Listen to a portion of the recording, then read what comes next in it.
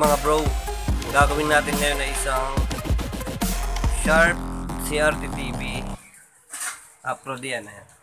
Sharp Apro D flat 21 inches. Ang trouble niya, isaksak natin.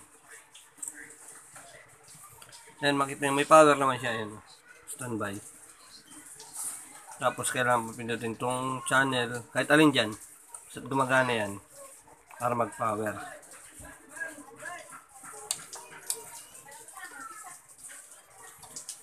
Narinig nyo mayroon siyang ano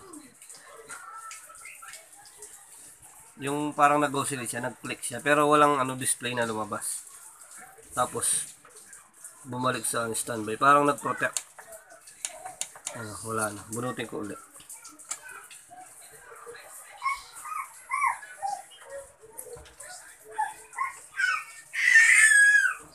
Sasaksak mo.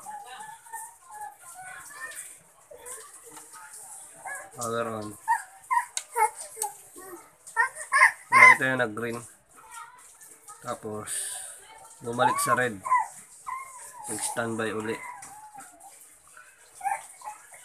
Tapos wala naman siyang display. Oh. Parang nagpo-protect.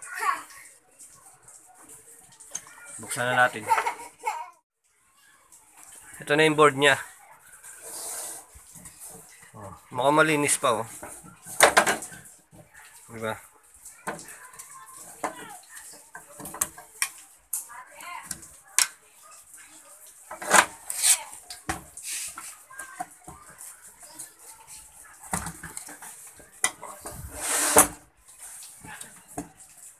Yan, makita natin kagad yung isang capacitor sa ilalim na. Ibig sabihin na na-repair na to. Yan o. Mas may hinang na rin yung power supply. Pero yung sa secondary, yan, parang naglulos yung ibang parts. Hinangin, na, hinangin natin yan. Kapag uh, nagbukas kayo ng ganito ng naglulos, hinangin nyo yung ano, vertical at saka itong horizontal drive transformer. Tapos yung regulator na to. Yan ang madalas naglulos sa ganitong. No? Yan ang jungle niya. Surface mount IC. I test muna natin yung voltage niya.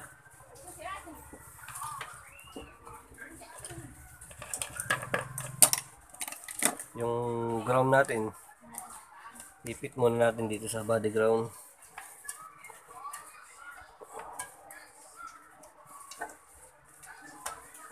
yan tapos yung nasa ano tayo to 50 DC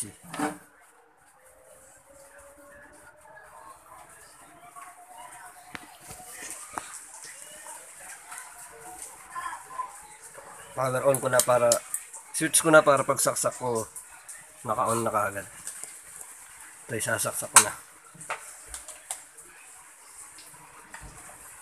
Check natin yung B plus nya sa B plus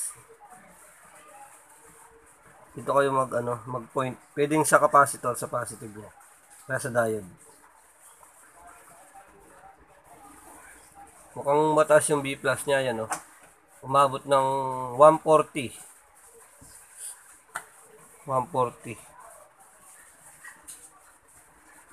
yan naka point tayo. I-power ko. Pindutin ko yung channel. Yan o umaangat. Ibig sabihin mataas yung B plus nya kaya siya nagpo-protect.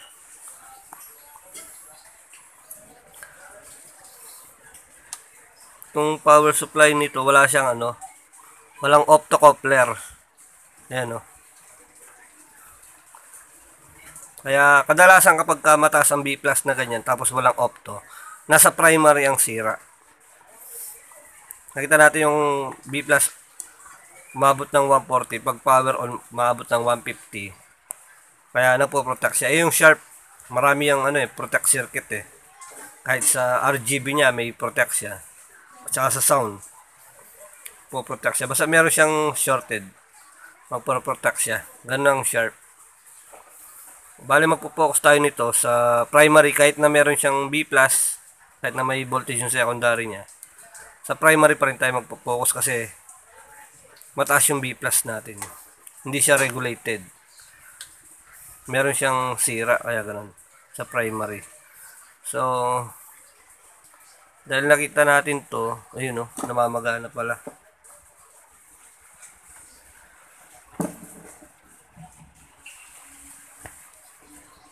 Ayun o, oh, bloated na siya. Pero sa tingin ko matagal na rin ito. Na dito nakalagay. Sana ito lang sira para para hindi na tayo mahirapan. Ayan, 5047.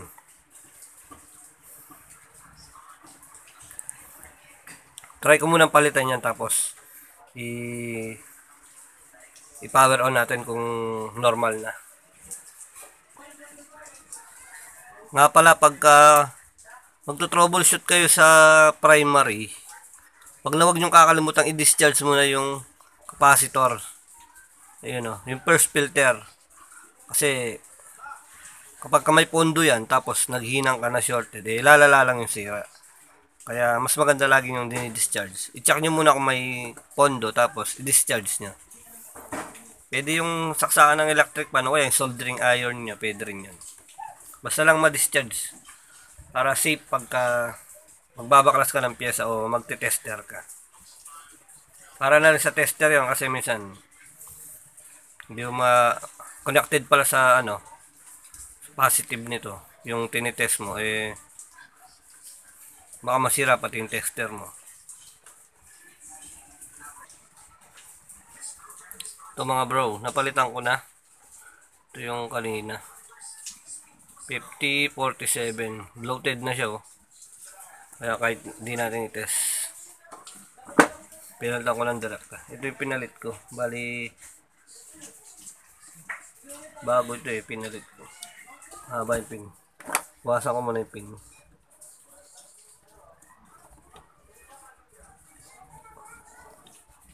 Yan. Tapos i-test testing na natin kung anong resulta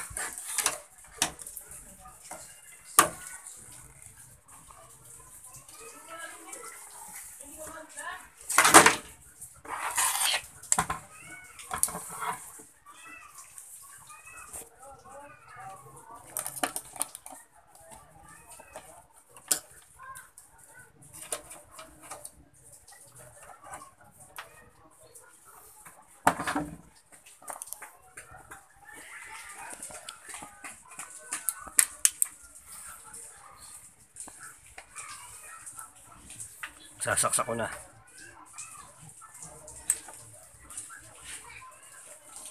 Na standby na. Mga pala may standby pala yan kanina.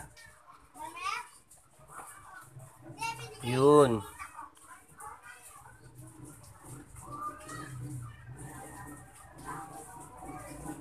Ayun o naging 125 volts. I-try kong i-power on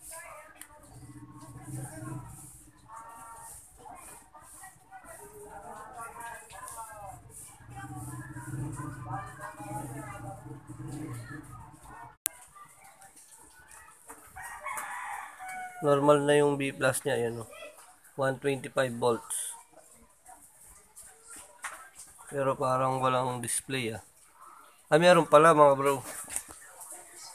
Bali naka video lang pala siya kaya kaya hindi ko maaninag yung raster ayun o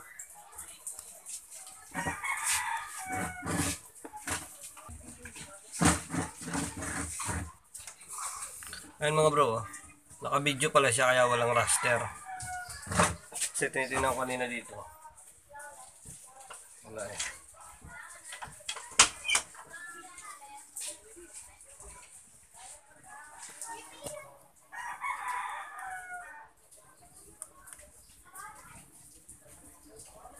Ayun. Meron na siya. Buti hindi tayo pinahirapan yun lang yung sira. Yung capacitor na 5047. Baka lang maka-encounter kayo na ganyan mataas ang B+. At least may idea na kayo. Yan mga bro. Bali sinaksa ko na. Testingan natin kung may power. Kung may masagap na signal. Ayan o. Dinig natin kaagad yung sound niya. Comfy, at iwas irritation. Choose Whisper Pink. Deserve ko to. Okay na siya. Medyo maputla na lang yung ano niya, yung display. Pero para sa akin okay pa rin. Hindi naman siya ganun kaputla oh. Pwede pwede pa siyang ano, gamitin. Matagal pa to. Now in Babusta. Iba-ibang itsura. Maraming salamat nga pala sa panunod sa aking mga video. Asahan nyo sa mga susunod na araw. Mas marami tayong.